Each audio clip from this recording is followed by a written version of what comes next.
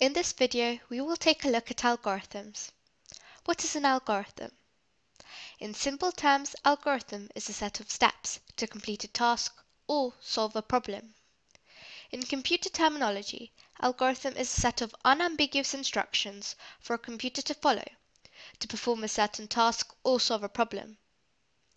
Remember, algorithm is not a computer program but a first step in the process of solving the given problem, which could be converted to a computer program that will run on computer.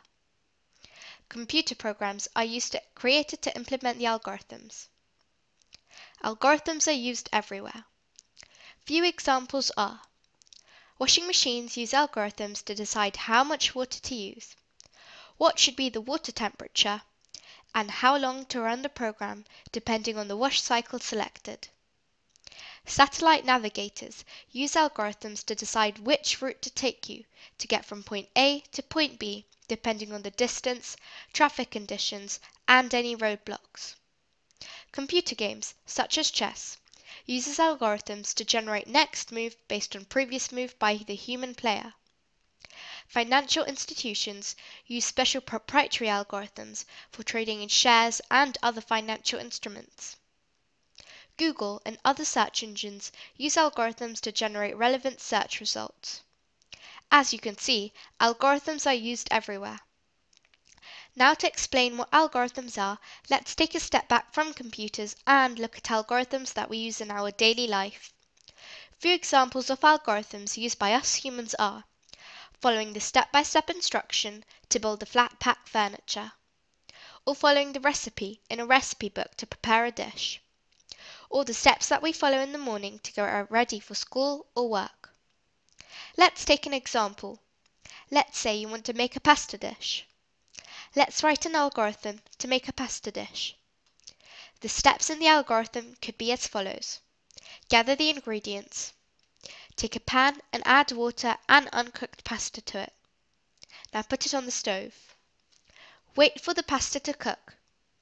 Now take another pan and add ingredients to make pasta sauce. Put it on the stove. Wait for the sauce to cook. Once sauce is cooked, add cooked pasta to it. Your pasta dish is now ready. Serve it on a plate. We have written our first algorithm for humans. As you can see, this algorithm is simply a set of instructions to complete the task of making a pasta dish. If you follow these instructions in the order, then you will be able to produce a pasta dish. Now think about it. Is this the best and most efficient algorithm to make a pasta dish? Can you improve it? Since there are always more than one way to solve the problem, there could be more than one algorithm to achieve the same outcome. Let's see if we can improve this pasta dish algorithm. Let's write down the steps again. Gather the ingredients. Take a pan and add water and uncooked pasta to it. Put it on the stove. So far, the steps are the same as the previous algorithm, but let's make a small change. Now while this pasta is cooking, take another pan and add ingredients to make pasta sauce. Put that on another burner on the stove, so now you have two things cooking simultaneously. Wait for the sauce to become ready and pasta to cook. If sauce is ready and pasta is cooked, add pasta to sauce. Your pasta dish is now ready. What do you think? Is our second algorithm better than the first one? Yes, it is. Both algorithms are solving the problem at hand, which is making a pasta dish. But in the second algorithm, we save time by cooking the pasta and cooking the sauce simultaneously, so it is more efficient than the first algorithm. So far, we have looked at algorithms that could be followed by humans. Now let's turn our attention to algorithms for computers. Let's write a simple algorithm to add two numbers, 10 and 20. Let's write down the steps for this algorithm. Set number 1 to 10. Set number 2 to 20. Add number 1 and number 2. Output the result, which is the result of adding 10 and 20 we have written our first algorithm for computers. As you can see, this algorithm is nothing but a set of unambiguous instructions for a computer to follow to solve the problem of adding two numbers. Let's now write another algorithm to calculate difference in numbers.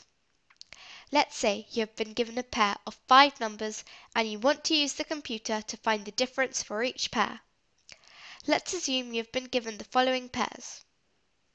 Let's write down the steps for this algorithm. Input number 1. Assuming we start at the first pair, which is 15 and 6, we will input 15 here. Input number 2. We will input 6 here. If number 1 is equal to or bigger than number 2, then subtract number 2 from number 1. Since 15 is bigger than 6, computer program implementing this algorithm will subtract 6 from 15 to get an answer 9. If number 2 is bigger than number 1, then subtract number 1 from number 2. Since 6 is smaller than 15, computer will do nothing here. Store the answer as number 3. The answer 9 is stored as number 3. Output number 3.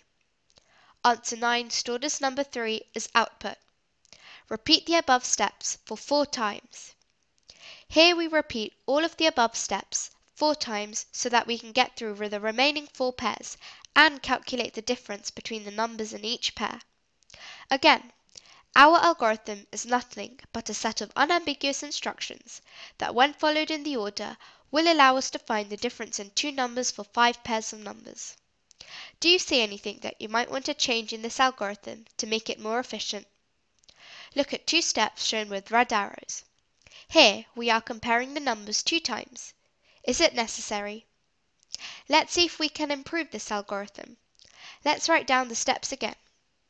Input number 1 we will input 15 here. Input number 2. We will input 6 here. If number 1 is equal to or bigger than number 2, then subtract number 2 from number 1. Otherwise, subtract number 1 from number 2. Since we are already checking if number 1 is equal to or bigger than number 2, we don't need to explicitly check the opposite condition. In our case, since 15 is bigger than 6, computer will subtract 6 from 15 to get an answer 9. Store the answer as number 3. The answer 9 is stored as number 3. Output number 3. Answer 9 stored in number 3 is output. Repeat above steps for 4 times to cover remaining 4 pairs. This algorithm is clearly more efficient than previous ones, as we avoid comparing numbers 2 and num comparing two numbers again. Let's now look at efficiency criteria for algorithms. Three criteria you should check to decide, to decide if the algorithm is successful or not are correctness or accuracy. Does it solve the problem? Consistency. Is it consistent in solving the problem? Successful algorithms will always produce the same results no matter how many times you run it. Efficiency. Does it solve the problem efficiently?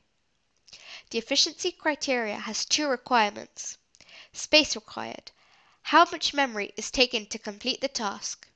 Since, since computers have finite amount of memory, this is a very important criteria. Time required. How much time is taken to complete the task? Efficient algorithms will take less time to run. Let's recap. Algorithm is a set of unambiguous instructions for a computer to follow to complete the task or solve the problem. An algorithm is not a computer program. Computer programs are used to implement algorithms.